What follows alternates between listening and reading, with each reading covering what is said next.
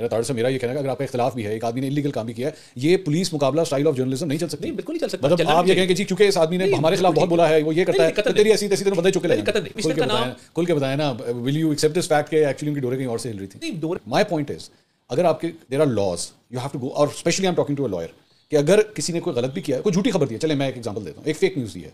उस fake news को counter करने का तरीका लीगल प्रेसिडेंट है ना? ये तो नहीं हो सकता ना तार साहब के बंदे बंदे चुके लाए सर मैं सिर्फ़ करके दिखाया लोगों को पैगाम भिजवाए लोगों के घरों के अंदर।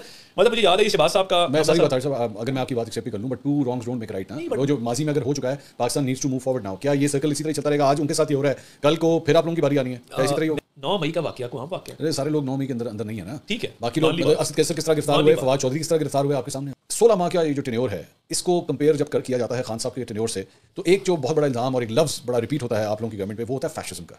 मीडिया के ऊपर जो कदम लगाई गई एंकर्स को ऑफ़र किया गया उसके हवाले से भी बहुत कुछ होता है। मिले नहीं मिल सका।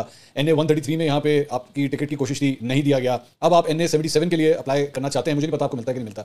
लेकिन वालेकुम नाजरीन मंसूर अली ख़ान ने आज नून लीग की चेले अता तारड़ को अपने सामने बिठाकर ऐसे तल्ख सवाल किए, जिनका अता तारड़ के पास कोई जवाब ना था। और अता तारड़ बिगी बिल्ली बना हुआ शो में नज़र आया। वैसे तो मंसूर अली ख़ान पीटीआई पर बहुत ज़्यादा तनकीद करते हुए नज़र आते हैं, मगर आजकल मंसूर अली ख़ान भी नून लीग की गंदी सियासत की वजह से बहुत ज़्यादा गुस्से में हैं। और इसी गुस्से में मंसूर अली ख़ान ने अता तारड़ की लाइव शो में ऐसी चित्रोल की कि मज़ा आ गया। आइए पहले इनकी गुफ्तु सुनते हैं फिर इस पर बात करते हैं। अच्छा इस वक्त मतलब हम चूँकि ये पॉलिटिकल जो एक डिविजन्स हो चुकी हैं सोसाइटी के अंदर उसके बारे में बात कर रहे हैं। Election around the corner now आठ की डेट आ चुकी है। लेकिन तासुर ये है कि मुस्लिम लीग नून जो है वही वोट को इज़्ज़त दो देने वाली जो मुस्लिम लीग नून है अब वो इस्टेब्लिशमेंट के साथ सेम पेज पे है। इस्टेब्लिशमेंट की आशीर्वाद के साथ ही अब ये इलेक्शन जीतेगी अगर जीतेगी वैसे इलेक्शन नहीं जीत सकती। देखिए 2018 में बदतरीन हमारे साथ सलूक हुआ। पीटीआई लॉन्च की गई जनूबी पंजाब महाज बनाया गया हमारे लीडरान को जेल भेजा गया लोगों की वफादारियाँ तब्दील करवाई गई। एक प्रोजेक्ट बड़ी शान शौकत से ठाट बाट से लॉन्च हो गया। आपको पता है पंजाब में भी सिंगल लार्जेस्ट पार्टी हमारी 130 सीटें थी पीटीआई की 118 या 120 सीटें थी। उन तीस आज़ाद उम्मीदवारों को जहाज़ में डाल के पटके पहना के ज्वाइन करवाया गया। नेशनल असेंबली में अगर अख्तर निगल साहब बुकटी साहब शाहसैन बुकटी साहब एम क्यू एम बाप ये सारे ना मिलते हैं। तो पीटीए की फेडरल गवर्नमेंट भी नहीं बनती थी। बावजूद इसके कि लोग समझते थे कि हमारे साथ बड़ा उन्होंने कॉर्नर किया। है गवर्नमेंट देते हैं तो फिर उसके बाद मुस्लिम नून को तोड़ के मुस्लिम काफ जिस तरह बनाई गई थी परवेज मुशरफ के दौर में आप उसको जस्टिफाई कर देते हैं। हमारे साथ जी, उनके पास क्या चॉइस हमारे है आना तो काफ़ी में दो दो फिल्ट्रेशन प्रोसेस हुए हमारे साथ। मुशरफ दौर में काफ लीग बनी और खान साहब के दौर में हमारे लोगों को तोड़ के कभी जनूबी पंजाब महाज कभी कुछ। बदतरीन चार साल थे। अठारह का चले चैप्टर क्लोज कर दें। एक बंदा नहीं टूटा। क्या आप राना सनावला पे ड्रग्स डाल के इसको तोड़ अच्छा अब ये जब कंपैरिजन आप करने लगे हैं 2018 का 2023 के साथ तो पाकिस्तान तरीके इंसाफ ये कहती है कि साथ वो नहीं हुआ जो हमारे साथ हुआ है। हमारे लोगों के ऊपर तशद हुआ है हमारी औरतों को बंद किया गया जो अगर बंदा नहीं मिलता तो बंदे के घर वालों को उठा के ले जाया जाता है। मुस्लिम लीग नून ने तो उसका टेन भी फेस नहीं किया। पहली बात ये है कि हमें बेटे से तनख्वाह नाले पर निकाला गया था। ठीक है। Maryam Bibi public office holder नहीं थी उन पे केसेस बनाए गए थे। उन केस बनता ही नहीं था। मरीम बीबी ने शहबाज साहब ने हमजा साहब ने नवाज़ शरीफ साहब ने Rana Sanaullah Ahsan Iqbal Saad Rafi the list goes on खानदान के खानदान मैंने टूटते देखे हैं। करके दिखाया लोगों को पैगाम भिजवाए लोगों के घरों के अंदर मतलब मुझे याद है ये शहबाज साहब का मैं सारी बात साहब अगर मैं आपकी बात एक्सेप्ट कर लूँ but two wrongs don't make right ना? वो जो माजी में अगर हो चुका है Pakistan needs to move forward now क्या ये सर्कल इसी तरह चलता रहेगा? आज उनके साथ ही हो रहा है। कल को फिर आप लोगों की बारी आनी है। इसी तरह ही मैं ये समझता हूँ कि हमारे पे तो केसेस बनाए गए थे ना मंशियात किसी पे डाल दो किसी पे मनी लॉन्ड्रिंग डाल दो। मुझे बताएँ नौ मई का वाक्य को हम वाकया? अरे सारे लोग नौ मई के अंदर अंदर नहीं है ना? ठीक है। बाकी लोग। असद कैसर किस तरह गिरफ़्तार हुए फवाद चौधरी किस तरह गिरफ़्तार हुए आपके सामने? इन्होंने साइफर देख लें। तोशा खाना ना अगर चलें फॉर एग्ज़ाम्पल मैं तोशा खाना से कुछ चीज़ घर लेके जाऊँगा ना तो मैं इसलिए लेके जाऊँगा कि कल को मंसूर साहब मेरे घर आएँगे तो मैं दिखाऊँगा मंसूर साहब ये देखें ये मोहम्मद बिन सलमान ने दिया। हाँ। ये मुझे फलां बादशाह ने घर पे एक व्यापार और कारोबार बना लेना कि आपकी घड़ियाँ आ रही हैं थोक के हिसाब से उनको मार्केट ब्लैक मार्केट में आप बेच रहे हैं। फरा गोगी पूरा कारोबार कर रही है मजदार को वजीरा लगाया हुआ है। इसका आर्गुमेंट ये है कि जी उनकी चीज़ें उनकी मर्ज़ी। वो उसको रखें बेचें तो आपकी मर्ज़ी। फिर आप फिर आप आप choice। नेकी का अमर बिल मारूफ और नहीं मुनकर ना कहना। आप इसके ऊपर मॉरल बैकग्राउंड ले सकते हैं बट आप इसके ऊपर लीगल बैकग्राउंड लीगल बैकग्राउंड ये है? लीगल बैकग्राउंड क्या है? लीगल बैकग्राउंड ये है कि आप एक चीज़ को फॉर एग्ज़ाम्पल ये एक फ़ोन है ये फ़ोन मुझे किसी हेड ऑफ़ स्टेट ने दिया है ठीक है। इसकी कीमत है चार करोड़ रुपया ठीक है। इसकी मैं कीमत लगवाऊँ पचास हज़ार ठीक है। और उस पचास हज़ार का ट्वेंटी परसेंट मैं जमा करा दूँ सरकारी खजाने में और बाहर जाके इसको दस करोड़ का बेच दूँ और डिक्लेयर भी ना करूँ तो ये लीगल बैकग्राउंड आ गया। ये अब आया ना। ये अब अब दिस इज़ डिफरेंट पॉइंट वो जो आप पहले पॉइंट दे रहे थे वो ये था कि जी बेचा क्यों? यही है ना, बेचना undervalue किया। Is is not an issue कारोबार बना लिया। अंडर वैल्यू अंडर इनवॉइसिंग और not declaring it in the your income tax और रिटर्न उसकी प्रॉफिट खा जाना अनडिक्लेयर वो- वो। इवन देन इवन देन आप पूरी कौम को अमर बिल मारूफ कह रहे हैं नहीं मुनकर कह रहे हैं। साथ आप घड़ियाँ और चीज़ें बेच रहे हैं। हाँ। तो ये तो नहीं बनता ना कि आप पूरी कौम को एक नेकी का वो एक नदीम मलिक का इंटरव्यू आप देखें कभी। बैठी हैं मोहतरमा कह रही हैं कि खान साहब के कपड़ों में पेबंद लगे थे उनके कपड़े फटे हुए थे। मैंने कुत्ते की तरफ़ देखा कुत्ते की आँखों में आँसू आ गए। आप निकाल के देखें। यार हद होती किसी बात की। आप लोग वहाँ पे साथ कारोबार कर रहे हैं। आपका किचन कोई और चला रहा है गाड़ी किसी और की पैसे कहीं और से आ रहे हैं और लोगों को बेवकूफ़ बना रहे हैं कि कुत्ते की आँखों में आँसू आ गए यार। चले खवातीन को छोड़े। हैं वो इस तरह तो फिर मरियम बीबी अभी जब जलसे के अंदर रो रही थी तो लोगों ने उसके ऊपर भी बहुत क्रिटिसाइज किया कि जी ये ये सब कुछ क्यों हो रहा है? ये मतलब इसकी ज़रूरत नहीं है। आप her mother. हर नहीं आई एग्री. हर बंदा इमोशनल हो जाता है। मियाँ साहब को अगर रिलीफ मिला है तो जो गलतियाँ लीगल फ्लॉज केसेस के अंदर थे उसी को हमने वहाँ पे बयान किया ना तो उसके उस बुनियाद पे रिलीफ और नैब ने आपको कटेस्ट तक नहीं किया। नैब ने हर बात में आपकी हाँ में हाँ में हाँ क्यों?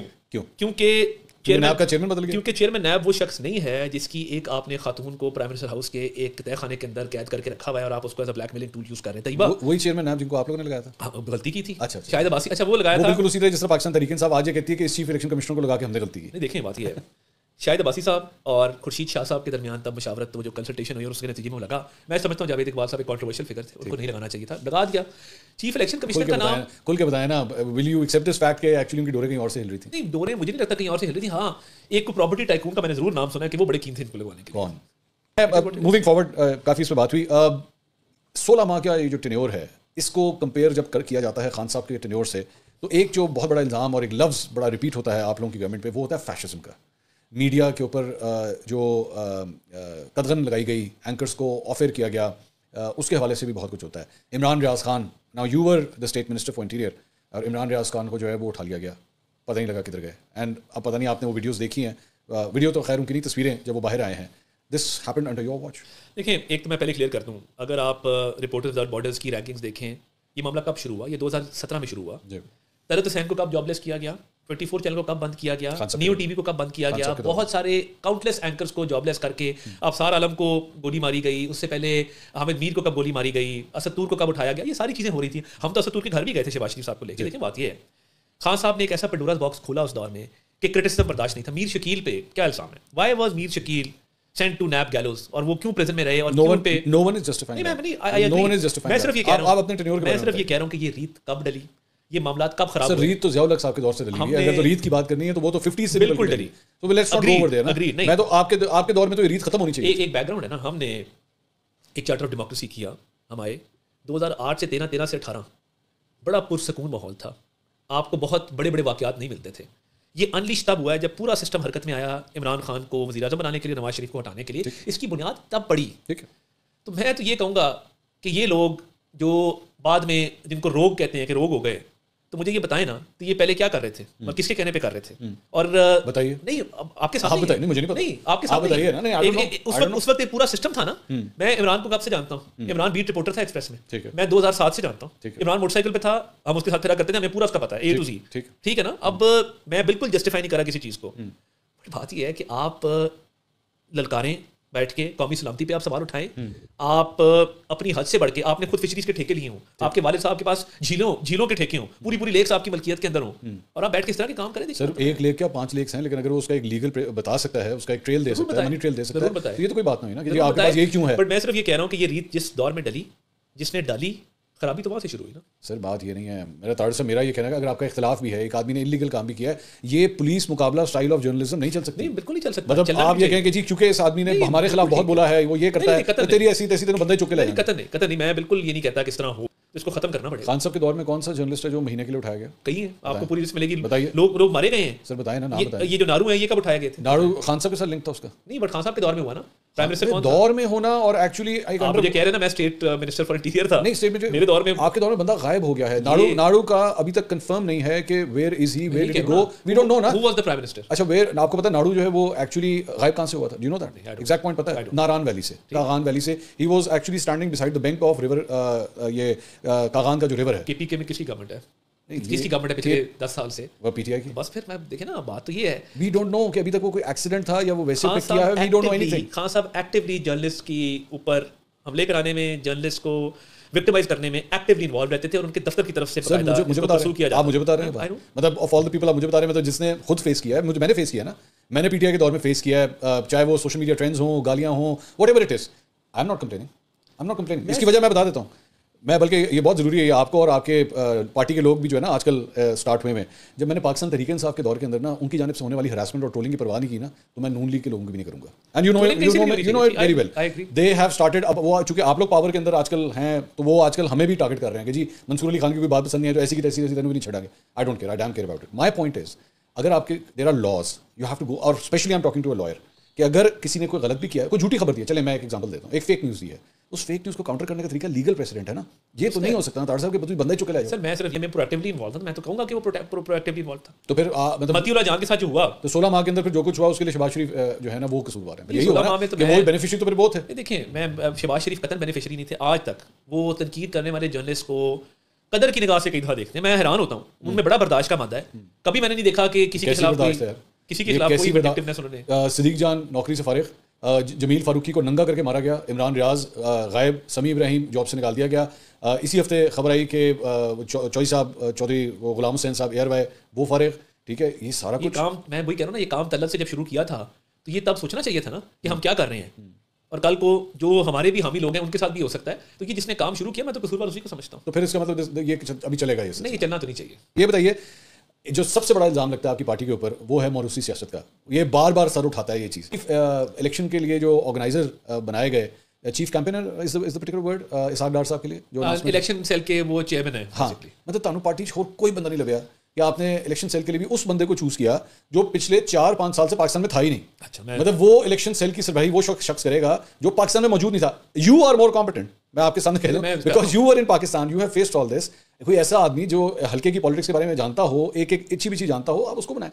आपने भी अल्टीमेटली शरीफ खानदान के समधी को ही बनाया बैठ के नाजरीन, आपने देखा कि अता तारड़ किस बेशर्मी से झूठ बोलता रहा, अपनी सोलह माह की कारकर्दगी, बल्कि मैं तो कहूँगा कि सोलह माह की गंदगी भी इमरान खान पर डालने की कोशिश में रहा। मगर अवाम अब बाशूर हो चुकी है। अवाम इनकी दरिंदगी से बखूबी वाकफ़ हो चुकी है कि कैसे इन्होंने इमरान खान को उठाया और उसका बुरा हाल कर दिया। अब तो आवाम इलेक्शन के इंतज़ार में है कि कब इलेक्शन हो और वो अपने वोट के ज़रिए तमाशा इनके मुँह पर मारें। नाजीन आपका इस बारे में क्या कहना है? अपनी राय का इजहार कमेंट बॉक्स में ज़रूर करें। नेक्स्ट वीडियो तक मुझे दें इजाज़त। अल्लाह हाफिज़।